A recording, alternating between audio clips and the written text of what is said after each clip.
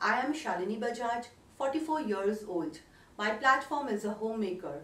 I was born and raised in exotic Andaman and Nicobar Islands. I am here to go the extra mile and to come out of my comfort zone to fulfill my passion. My desire is to be an inspiration for all homemakers. I'm humbled and grateful to the directors and organizers for putting together an incredible platform for all married women.